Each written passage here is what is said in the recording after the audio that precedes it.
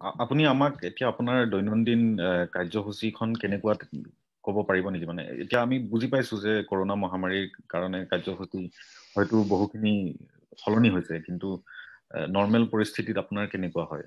দৈনন্দিন জীৱন বা কাৰ্যসূচী কেনেকুৱা? দৈনন্দিন জীৱন মইতো ইয়াত আই আই টিত মই কোৱাৰ্টাৰতে থাকোঁ চ' ইয়াত অকলেই থাকোঁ মই মোৰ ফেমিলি তেজপুৰত থাকে চ' গোটেই ঘৰৰ সকলো কামখিনি মই কৰোঁ। ৰাতিপুৱা শোৱাৰ পৰা উঠি মানে ব্ৰেকফাষ্ট বনোৱাৰ পৰা আদি কৰি তাৰপিছত অফিচ যোৱা তাৰপিছত আকৌ গৈ পেলাই লাঞ্চ কৰা।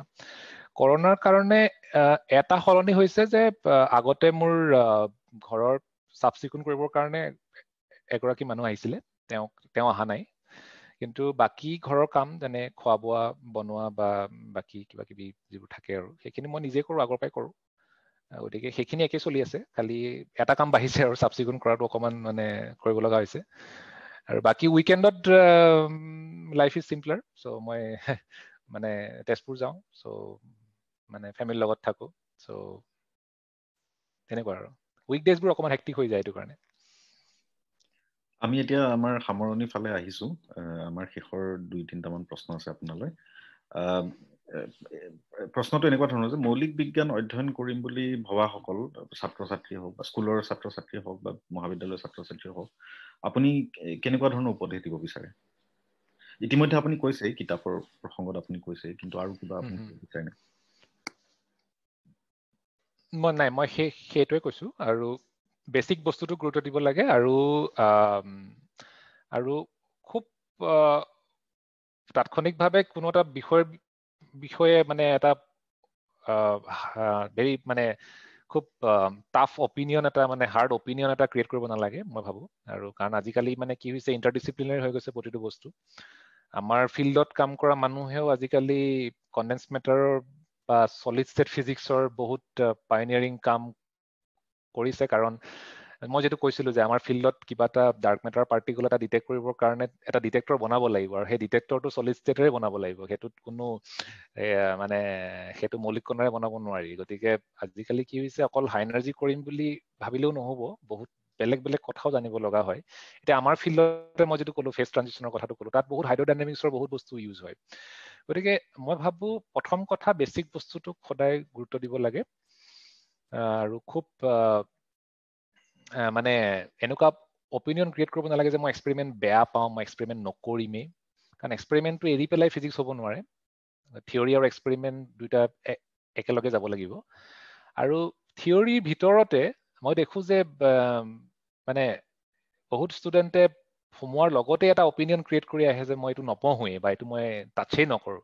গতিকে সেই অপিনিয়নটো ক্ৰিয়েট কৰিব নালাগে। মানে হাই এনাৰ্জি ভাল পাওঁ বা জ্যোতিৰ্বিদ্যা ভাল পাওঁ দেট ইজ ফাইন কিন্তু তাৰ অৰ্থ এইটো নহয় যে মই চলিড ষ্টেটটো বেয়া পাম বা মই নুচুমেই চলিড ষ্টেটটো কাৰণ আমি নাজানো যে কোনটো কেতিয়া ইউজ হ'ব। এতিয়া লাইগ' যিটো লাইগত যিটো মানুহে মানে গ্ৰেভিটেশ্যনেল ৱেভৰ যিটো ডিছকভাৰী হ'ল নবেল বঁটা পালে তাত অপটিক্সৰ ইমানেই ব্যৱহাৰ হৈছে ইমান চফিষ্টিকেটেড অপটিক্স ইউজ হৈছে কল্ড এটম ইউজ হৈছে। গতিকে তেনেকে যিটো ব্লেক হলৰ যিটো মানে কৃষ্ণগৰ্ভৰ যিটো মানে ইমেজৰ কথা কৈছিলা সেইটোত যিখিনি অপটিক্স ইউজ হৈছে আৰু এইবাৰে যিটো ব্লেক হলৰ ডিছকভাৰীৰ কাৰণে যিটো নবেল বঁটা পালে তাত যিটো অপটিক্সৰ টেকনলজি ইউজ হৈছে এডাপ্টিভ অপটিক্স বুলি কোৱা হয় গতিকে সেইটোতো সেই বস্তুটো ডেভেলপ নোহোৱা হ'লে ব্লেক হলটোৰ যে আমাৰ গেলেক্সিৰ মাজত যে এটা ইমান ডাঙৰ ব্লেক হল এটা আছে সেইটো ডিছকভাৰ কৰিবৰ কাৰণে অপটিক্সটোতো ইউজেই হৈছে যথেষ্ট অপটিক্স ইউজ হৈছে। গতিকে ইমানেই ইণ্টাৰডিচিপ্লিনাৰী যিকোনো এইটো মই অকল ফিজিক্সৰ বুলিয়ে নহয় মই ভাবোঁ যে সকলো ফিল্ডতে আজিকালি ইটো সিটোৰ লগত ইমানেই জড়িত হৈ পৰিছে। গতিকে মই ভাবোঁ আমি অকণমান অ'পেন মাইণ্ডেড হ'ব লাগে মানে বিভিন্ন চাব টপিকৰ বিষয়ে। আৰু বেচিকটো সদায় লগত ৰাখিব লাগে কাৰণ সেইটো সেইটো সুদূৰ প্ৰসাৰী হ'ব সেইটো সদায় থাকি যাব। বাকী কিছুমান স্পেচিফিক টপিকৰ বিষয়ে মানে ওপৰত গুৰুত্ব দিয়াতকৈ বেচিকটোত মানে বেছি গুৰুত্ব দিব লাগে। আৰু গৱেষণা আৰম্ভ কৰাৰ লগে লগেতো আৰু নিজৰ পাঠটো মুকলি হৈয়ে যাব তাৰপিছততো গম পোৱাই যায় আৰু কি কি কৰিব পাৰি কি কৰিব নোৱাৰি। গতিকে মই ভাবোঁ মোৰ ফালৰ পৰা এইকেইটাই মই ক'ম। ইয়াতে আৰু এটা প্ৰশ্ন মোৰ মনলৈ আহিছে মানে দেখা দেখা যায় যে ধৰক মই যিবিলাক স্কুলীয়া ছাত্ৰ ছাত্ৰীৰ লগত মই কথা পাতোঁ প্ৰায় প্ৰায়ভাগ ছাত্ৰ ছাত্ৰীয়ে গণিতৰ যদি ভাল পাওঁ বুলি কয় তেতিয়াহ'লে সংখ্যা তত্বৰ কথা কয় নাম্বাৰ থিয়ৰীৰ কথা কয়। আৰু ঠিক তেনেকে পদাৰ্থ বিজ্ঞান ভাল পাওঁ বুলি যদি কয় তেতিয়াহ'লে হয়তো জ্যোতি পদাৰ্থ বিজ্ঞান বিদ্যা ক'ব পাৰে বা ব্ৰহ্মাণ্ড বিজ্ঞান ক'ব পাৰে বা এই দুটা বিষয় মানে খুব খুব বেছিকে কোৱা হয়। চ' এইটো আপুনি কিয় মানে এইটো হয়তো এই ফেচিনেশ্যন যোনটো কথা কৈছিলে সেইটো কাৰণে হ'ব পাৰে বা যি কাৰণতে নহওক আপুনি এইটো কি ভাল বুলি ভাবে নে কি বুলি ভাবে মানে এইটো? এইটো একচুৱেলি ভাল বেয়া বুলি একো নাই। এইটো নেচাৰেল একদম কমপ্লিটলি নেচাৰেল কাৰণ আমি আকাশখন সদায় দেখি থাকোঁ। গতিকে এটা এক্সপেৰিমেণ্ট আমাৰ আগত হৈ আছে। এতিয়া ধৰা ফৰ এক্সাম্পল ছেটাৰ্ণ আৰু জুপিটাৰটোৰ ডিষ্টেঞ্চটো কমি কমি আহি আছে। মই সিদিনাখনে লক্ষ্য কৰিছোঁ সিহঁতৰ ডিষ্টেঞ্চ একদম কমি গ'ল। আগতে বহুত দূৰত থাকে এতিয়া একদম ওচৰ আহিছে আৰু একৈছ ডিচেম্বৰত অলমষ্ট মানে মাৰ্চ কৰি যাব। গতিকে চকুৰ আগত সদায় দেখি থকা ঘটনাবিলাক বিলাকৰ প্ৰতি এটা ভাল লগাটো থকাটো স্বাভাৱিক মই তাত কোনো বেয়া বুলি নকওঁ। সেইটো ভাল কথা। কিন্তু তাৰ হয়তো বেলেগ একো ইণ্টাৰেষ্টিং বস্তু নাই। যিবোৰ বস্তু কিছুমান বস্তু চকুৰ আগত আমাৰ সদায় নাহিবও পাৰে কিন্তু সেইবোৰ বস্তু ইণ্টাৰেষ্টিং হ'ব পাৰে। খালি চাবৰ কাৰণে আমি কিছুমান স্পেচিফিক ইনষ্ট্ৰুমেণ্ট বা স্পেচিফিক কিছুমান আহিলা আমাক দৰকাৰ হ'ব। গতিকে ফেচিনেশ্যনটো বেয়া নহয় কিন্তু সেইটোৱে আমাক মানে মানে হেৰি কি বুলি ক'ম কনজাৰ্ভেটিভ কৰি তুলিব নালাগে যে মই অকল এইটোৱে পঢ়িম আৰু বেলেগ একোৱেই নাই। গতিকে কাৰণ বেলেগ বহুত জানিব লগা আছে চ' এটা সময়লৈকে সকলো ফিল্ড অকণ অকণ এক্সপ্ল'ৰ কৰি চাব লাগে কাৰণ বহুত বস্তু স্কুলত থাকোঁতে আমি গম নাপাওঁ ময়ো গম পোৱা নাছিলোঁ। তাৰ পিছত ডিচিশ্যনটো ল'লে ভাল যে অ'কে নাই মই এতিয়া গোটেইকেইটা বিষয়ৰ মানে মানে ফিজিক্সৰ বিভিন্ন বিভিন্ন চাৰি পাঁচটামান বস্তু মই অলৰেডি টাচ কৰিলোঁ। তাৰপিছত মই ভাবিলোঁ যে নাই মই এইটোৱে পঢ়িম।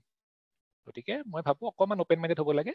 Fascination is a good thing but that should not be the final criteria to decide the life long career আৰু এটা প্ৰশ্ন মোৰ মনলৈ আহিছে এইটো হয়তো ইমান প্ৰাসংগিক নহ'ব পাৰে যিহেতু আপুনি আই আই টিত অধ্যাপনা কৰি আছে চ' আমি যেতিয়া দেখি আমি পঢ়ি আছিলোঁ বা এতিয়াও সেইটো হয়তো ইমান সলনি হোৱা নাই তেতিয়া আপোনাৰ হায়াৰ ছেকেণ্ডেৰী দুবছৰ ফিজিক্স বা কেমেষ্ট্ৰি বা মেথমেটিক্স সেইটো এটা মিনছ টু এন এণ্ড হৈ গৈছিলে যে মানে আই আই টি বা ইঞ্জিনিয়াৰিং হেৰিয়াত মানে ছাবজেক্টবিলাকত পঢ়িবৰ কাৰণে এইখিনি জানিব লাগে সেইকাৰণে এইখিনি পঢ়া হৈছিলে। বহু বহু ছাত্ৰ ছাত্ৰীয়ে সেইটো কাৰণেই পঢ়িছিলে আৰু চল্ভ প্ৰশ্ন চল্ভ কৰি পেলাই তেনেকে প্ৰিপেৰেশ্যন কৰি তেনেকে মানে কৰিলে। কিন্তু তাৰে বহু সংখ্যক এনেকুৱা হৈ গ'ল যে মানে ধৰক এণ্ট্ৰেঞ্চ এক্সাম ক্লিয়াৰ নকৰিলে কিন্তু তেওঁলোকে পিছত গৈ ৰসায়ন বিদ্যা বা পদাৰ্থ বিজ্ঞান পঢ়িবলগীয়া হ'ল।